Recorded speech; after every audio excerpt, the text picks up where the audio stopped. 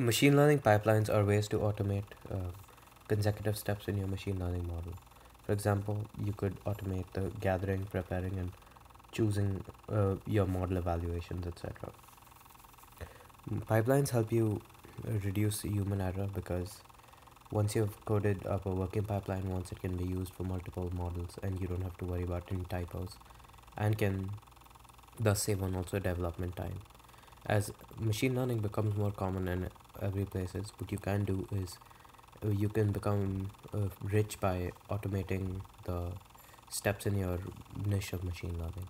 For example if you had a computer vision pipeline you could automate the scraping cleaning and data augmentation steps and sell your solution to companies and organizations. And by utilizing your skills you would be able to make some money. Like so make sure you like the video and subscribe and follow me across my other social media to learn more about this stuff